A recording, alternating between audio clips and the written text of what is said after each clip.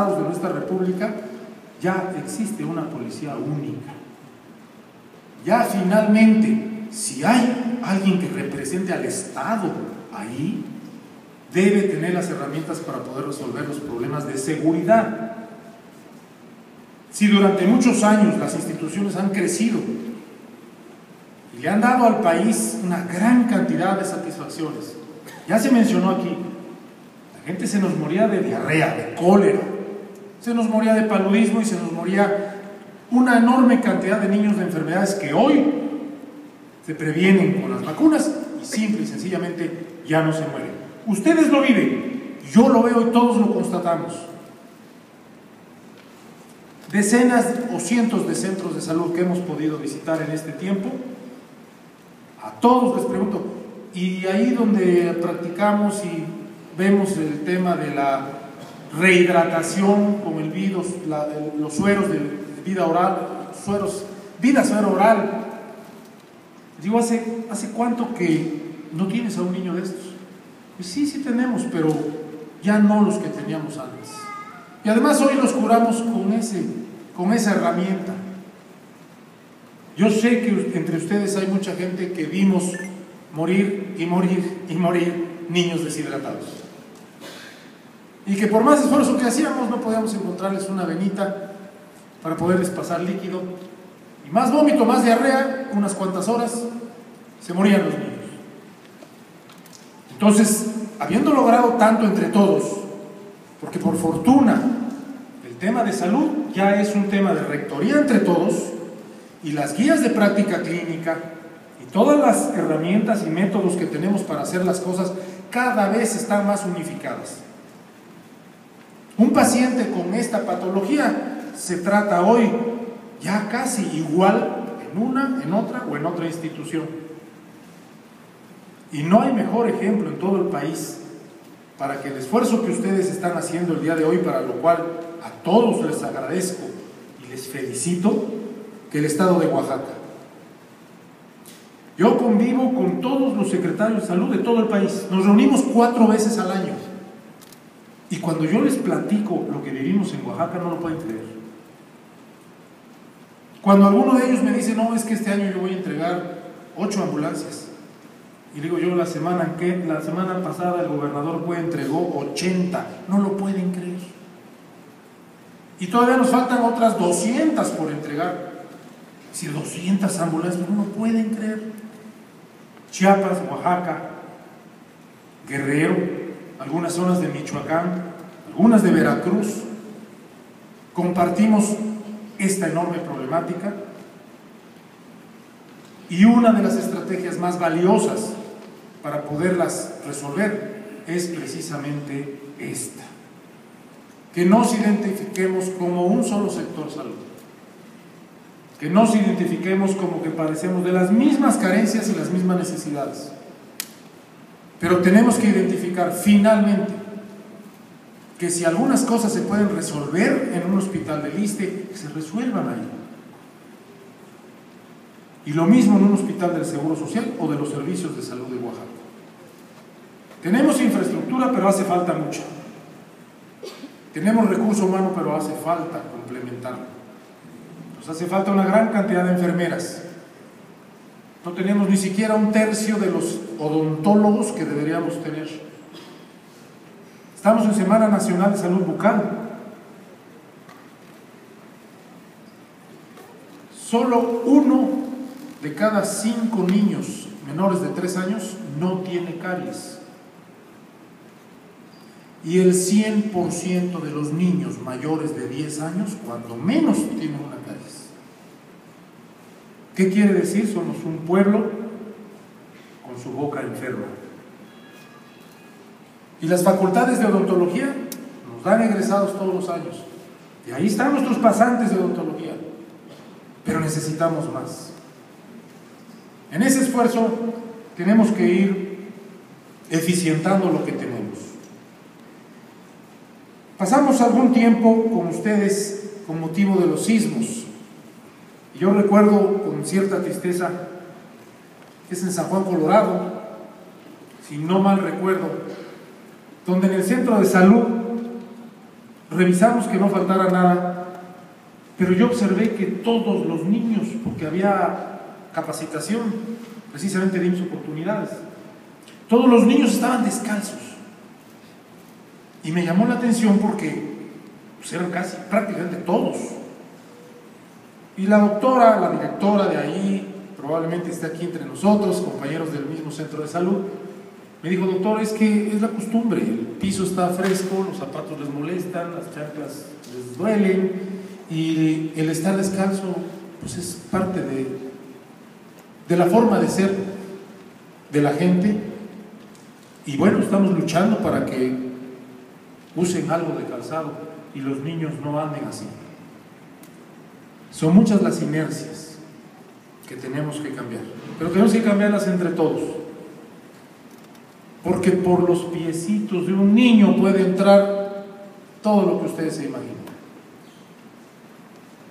Y así son muchos los temas que tenemos que librar. En este gran esfuerzo, en el que incluso en San Juan, Huaxpaltepec, la autoridad nos hizo el favor de compartir con nosotros la instalación de bebederos de agua potable en las escuelas.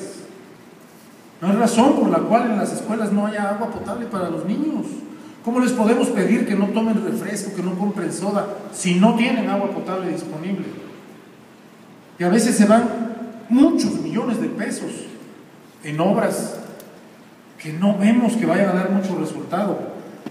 Y tenemos que luchar a que haya más cocinas comunitarias como las que ha instalado el DIF. Y así tenemos que seguir. Un pueblo sano, un pueblo que crece, un pueblo que se nutre, un pueblo que aprende a prevenir las enfermedades. Venimos de Puerto Escondido. En Puerto Escondido entregamos un certificado de mercado saludable al mercado Benito Juárez del centro. Y fue muy gratificante ver que una de las razones que unió al mercado dentro de todas las cosas que hace fue precisamente el tener un mercado limpio. Todo el asunto empieza con la higiene. Si a algún médico, alguna enfermera, doctora, enfermero, auxiliares de todo nuestro campo, le pudiésemos dar una herramienta, o mejor dicho, un concepto y dos herramientas, para que nos ayuden en el tema de salud, es precisamente el concepto se llama higiene y las herramientas se llaman agua y jabón. Y de ahí todo lo demás que ustedes quieren. Del mismo modo como tienen que en esta Semana Nacional de Salud Bucal ayudar a que se distribuya todos los cepillos de dientes posibles, toda la técnica de cepillado, toda la orientación, así tenemos que partir de la higiene y de ahí para adelante a los graves problemas de salud que aquejan a nuestras comunidades. Es pues que en este gran esfuerzo y agradeciendo infinitamente que me hayan invitado a estar aquí, les puedo asegurar que con la capacitación y el seguimiento de nuestros trabajos, un sector salud unido sí va a lograr los grandes cambios que todos nos hemos propuesto tanto a la delegación del Seguro Social como desde luego a la del ISTE y a los funcionarios públicos de los servicios de salud de Oaxaca, a todos ustedes, médicos, médicas, pasantes y de las diferentes ramas, enfermeras, lo que yo puedo decirles es gracias por haber estado aquí, a las autoridades, regidores, regidoras y a todos los comités de salud que vinieron a esto, decirles gracias por haber estado aquí Tomen en cuenta que es el inicio, es la instalación. Tenemos que trabajar mucho a que lo que se ha propuesto aquí se convierta en realidad. En ese sentido nosotros no vamos a descansar. El gobernador fue, habrá de entregar las 570 ambulancias a todos los ayuntamientos. Habremos de entregar, como en el año pasado, 13 unidades médicas nuevas más. Les comparto y termino con esto. El año pasado, cuando menos en cuatro regiones del Estado, sin tener dinero del recurso federal porque no nos llegó, Le dije al gobernador, pues, es que gobernador no llega la lana. Préstame 100 millones de pesos. En mi vida yo había pedido 100 millones de pesos prestados. Y me los prestó. Obviamente que no a mí, al sector salud. En lugares donde nunca antes había existido rayos X. En sitios donde nunca antes había habido una sala de partos, una incubadora, un aparato de ultrasonido, un Doppler, un laboratorio clínico, una sala de urgencias, un monitor, un desfibrilador, lugares donde nunca había habido, Teotitlán y Flores Magón, Sola de Vega, Santa María Huatulco, San Pedro Guamelula, cuatro hospitales básicos comunitarios, cada hospital, como ya los habían iniciado, faltaba todo para terminarlos y con esos millones de pesos los terminamos.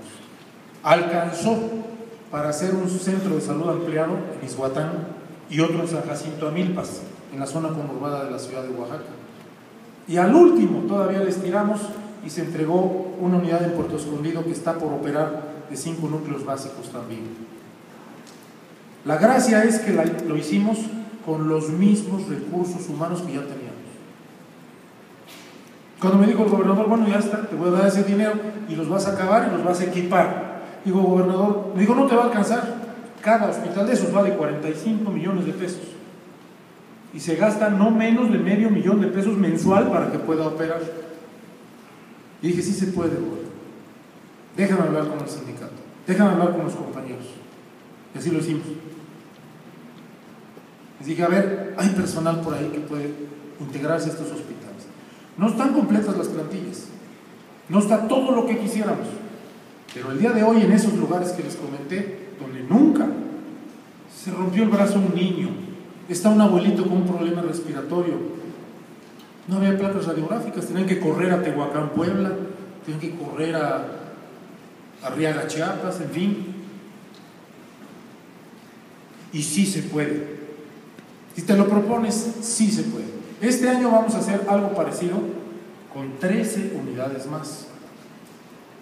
Esperamos entregar esas cuentas a la legislatura local para fin de año y seguir, porque en esta materia nada va a alcanzar. Después que con este esfuerzo, con el trabajo de las instituciones trabajando de manera armónica, se van a poder lograr las grandes cosas en materia de salud que Oaxaca necesita, que a Oaxaca le urge. No se les olvide, autoridades, compañeros, funcionarios. Lo que nosotros brindamos a la población es tranquilidad. Cuando una madre trae a un bebé y le dan una vacuna, la mamá no sabe exactamente qué está pasando. El bebé menos, pero sabe que no se le va a enfermar de eso que lo y le está usted dando tranquilidad para dedicarse a formarlo, a educarlo, a instruirlo y luego a luchar juntos por un patrimonio que tiene que ser siempre un patrimonio familiar que les permita desarrollarse. Es pues un producto muy valioso el que nosotros damos. 365 días, 24 horas. Donde no conocemos las vacaciones, no conocemos la Navidad, ni conocemos el Año Nuevo. Los hospitales tienen que estar abiertos y el servicio se tiene que dar. Y en eso también la autoridad, que lo sabe, en este maravilloso pueblo de Oaxaca, donde de los 570, solo 150 son de elección por vía de partidos políticos. Todos los demás son municipios de usos y costumbres. Estos usos y costumbres todos los pueblos tienen que irle dando el giro para que precisamente se cumpla la función. Pero es trabajo también voluntario. Por eso me acompaña mi esposa también, que ella quiere saber si en Pinotepa y en la región puede tener voluntarios de salud. Porque los trabajos de los voluntarios hacen grande a los pueblos. Muchas de nuestras autoridades en Oaxaca, como les dije, solo 150 son por partidos políticos. El resto son voluntarios. Y así hay que tomarlo y así hay que aquilatarlo. Por eso es muy, muy, muy grande el que ustedes estén aquí muy, muy grande que hayan hecho posible las personas reunirlos